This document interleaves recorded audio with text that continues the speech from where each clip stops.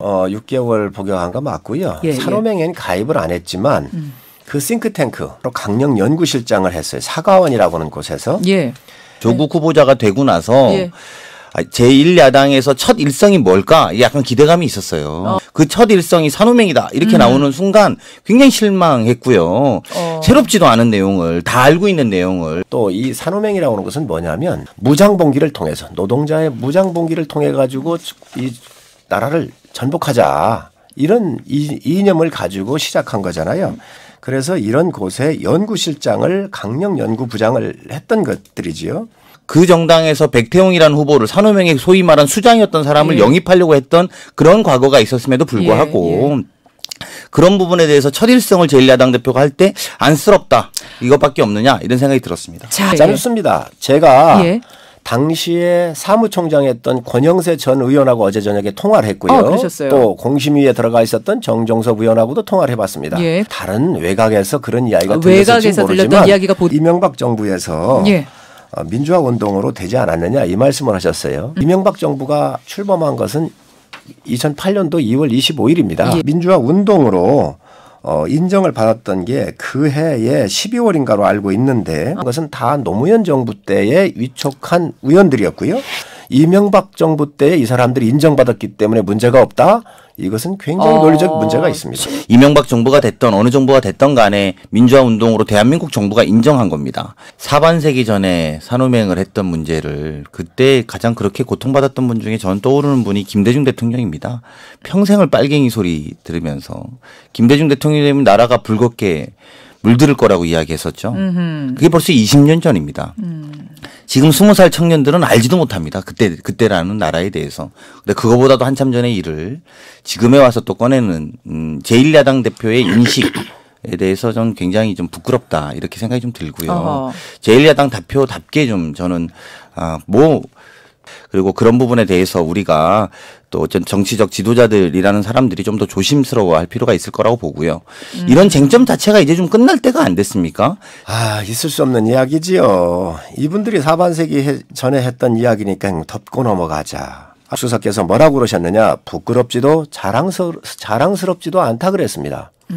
이 정부를 헌법을 부정했던 사람이 부끄럽지도 않고 자랑스럽지도 않다 그랬습니다. 그러면 이런 거를 봤었을 때 그냥 넘어가자는 얘기입니까? 이거에 대해서 자기가 잘못했던 과거에 대해서 한 번도 반성하거나 이 부분에 대해서 사과 한마디 없었던 사람이 이 나라의 법치주의를 지켜야 되는 법무부 장관의 후보자가 아니 뭐 더 이거 사실은 제가 볼 때는 야당 대표가 뭐 계속 이렇게 하시는 게 저는 뭐 국민들의 인식과의 괴리 정도를 계속 보여주는 거라고 봅니다. 인사청문회가 열리면요. 예. 그 당시에 당신 생각에 지금도 동의하느냐 이런 걸 물어보고 싶은 건데 예, 예. 그럼 물어보시면 될 것 같고요. 그리고 아마 조국 수석, 조국 후보자가 잘 답변할 거라고 봅니다만 음.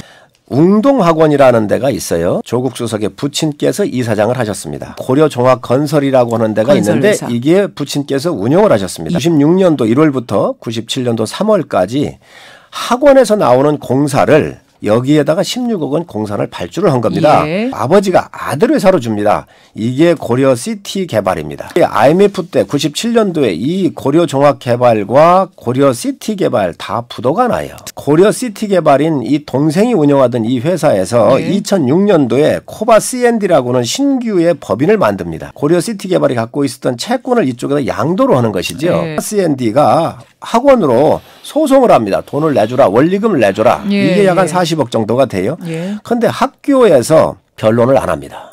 음. 아예 아예 대응을 안 합니다. 그래서 진 겁니다. 당시에 이 웅동학원의 이사는 조국 이사였습니다. 그 중학교가 너무 건물이 오래돼서 건물을 이전해야 되는 상황이었습니다. 예. 이, 전하려고 했던 회사는 고려 종합개발이었습니다. 음. 근데 여기가 사실상 부도가 나게 되는 거죠. 그러니까 그렇게 되면 어떻게 됩니까? 학교를 짓다 말아야 되는 상황이 생기는 겁니다. 예. 그러면 아이들이 갈 데가 없어지니 그걸 아들 명의의 건설회사한테 소위 말하는 하청을 주게 되는 거죠. 예. 그래서 그걸 완공시킵니다.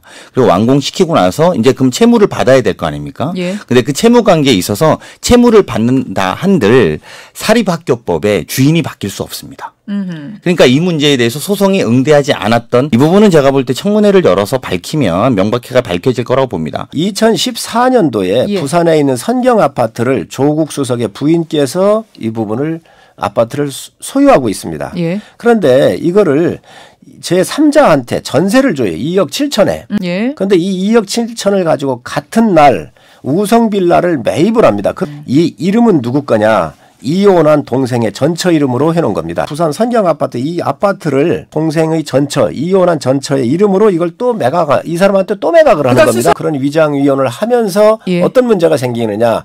증여세도 안 낸 문제, 부동산 실명 문제, 이게 되게 복잡하게 말씀하셨는데요. 일단 저- 무조건 빨리 청문회 열어갖고 이 문제 정리해야 된다고 저는 생각하고요. 그리고 후보자가 아마 할 말이 충분히 있을 거라고 봅니다. 위장 위장 이혼 이야기까지 아까 하셨잖아요. 예. 그 아이가 좀 몸이 안 좋은 걸로 알고 있습니다. 그래서 이제 부모가 이혼한 걸 몰라요, 아기가. 정기적으로 가끔씩 만났겠죠. 경제적으로도 어려운 문제가 발생이 됐고 그래서 그 문제에 대해서 가정의 문제 제가 더 디테일하게 말이 좀 그렇습니다. 청문회를 조속하게 열자고 제가 지속적으로 이야기를 드는 거 아까 전 이런 가족의 문제도 그 자리에서 좀 밝혔으면 좋겠어요. 그런 걸 직접 열어서 좀 물어보세요. 그리고 제가 제가 알기로는 사연이 있어요? 되게 민구합니다. 예, 아. 아마 야당이 되게 민망할 겁니다. 후보자를 검증하는 거지 후보자 전체의 조카 예, 예, 까지 예. 검증까지 이렇게 대, 이 올려서 이야기하는 것도 저는 오죽하면 이렇게 할까 싶긴 합니다. 아 정말 그냥 정말 맞고 싶구나 조국이 어, 법무장관이 되는 것은 어떤 수단과 방법을 가리지 않고 맞겠다는 것 외에는 저는 동의할 수가 없고요. 본질적으로 왜 이렇게 조국 수석에 대해서 알러지 반응을 보이는지 예. 아하.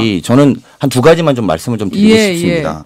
그러니까 첫 번째는 이 정부의 핵심 고리는 촛불 정부를 무너뜨려야겠다. 이거는 아주 핵심적인 사법 개혁에 대한 원론적 가치는 우리가 양보할 수 없다라고 제1야당은 판단한 거다. 저는 이렇게 봅니다. 음. 그리고 그렇지 않으면 이렇게까지 본인에 대한 의혹이 새로 나온 걸 이야기 한번 해보라 그러십시오. 예를 들면 사모펀드 이야기는 저는 좀 해야 된다고 봅니다. 예, 그 부분에 예. 대해서 국민적인 반감도 저는 충분히 있을 거라고 예. 보고요. 그 부분은 어, 청문회 열어서 충분히 밝혀야 된다고 봅니다. 나머지는 음. 새로울 게 하나도 없습니다. 오히려 가족들 그리고 전처 그 동생의 전처의 아이까지 거론하는 이런 형태에 대해서 저는 청문회를 이렇게 가져가도 되는지 오히려 더 의문스럽고요. 알겠습니다. 두 번째는 첫 일성을 제1야당의 대표가 예. 조국 후보자가 되는 걸 그렇게 반대할까라고 보면 너무나 다르고 비슷하기 때문입니다. 무슨 말이냐. 음. 대선 주자 황교안이 볼 때 잠재적 대선 주자로 본 것 아니냐. 잠 공안검사 대 양심수의 대결이지 않습니까? 법률가로서도 법학자의 전문학자 대 저- 네. 법, 어, 법 전문 학자 대 공안 검사의 대결이 되는 거거든요. 본인한테 불리할 거라고 판단할 거라고 봅니다.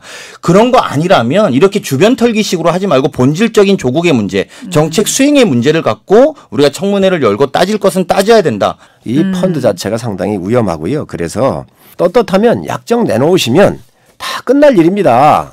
내가 74억을 운용을 해, 계약을 해놓고 10억만 줬다 그러면 그 회사에서 가만히 있겠습니까? 음. 이러한 의혹이 엄청나게 많이 있는 겁니다. 그리고 이 사모펀드 들어갈 당시 이미 수익률이 한 30% 됐다는 겁니다. 그30% 정도의 수익률이 있었기 때문에 믿고 들어간 거고 그 이상의 새로운 투자는 만들지 않았다. 지- 사모펀드의 이 약정액이라는 것은 예. 소위 신용카드 한도액 같은 거라고 하더라고요. 그 전문가들 이야기에 따르면. 어. 그래서 10억 정도를 본인 투자를 한 거고 그 이후에 새로운 투자를 하지 않겠다라는 이야기는 서로 잠정적으로 되어 있었던 상태라고 합니다. 근데 저 본질적으로 근데 이 문제에 대해서도 예.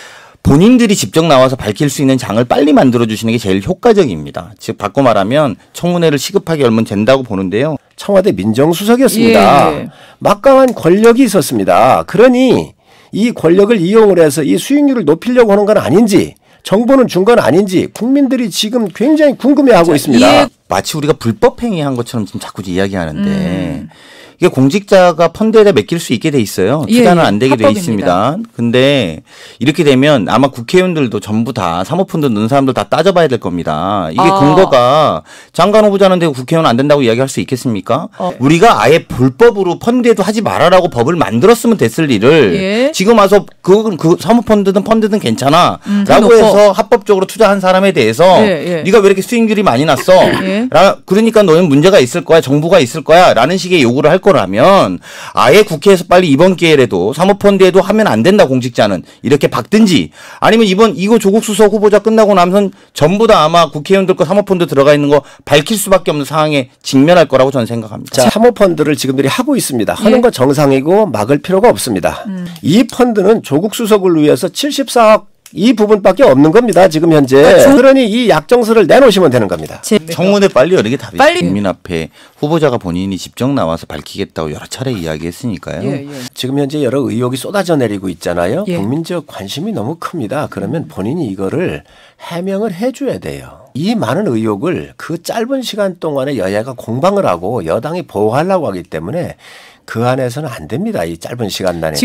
일단 법적으로는 청- 인사청문회 요청서가 송부되고 15일 안에 청문회를 열게 돼 있으니까요. 예.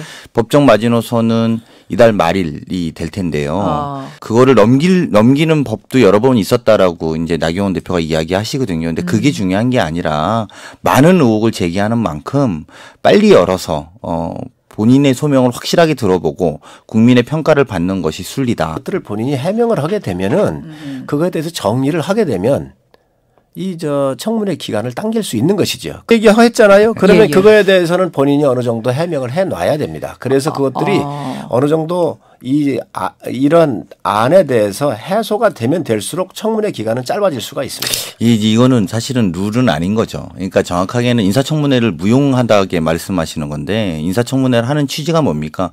국민의 대의 기관인 국회에 와서 후보자가 직접 본인의 소신을 밝히게 하는 것인데 먼저 빨리 언론에다 이야기를 해라 본인의 입장을 이런 식으로 이야기하는 것은 정도도 아닐 뿐더러 룰도 아니라고 봅니다.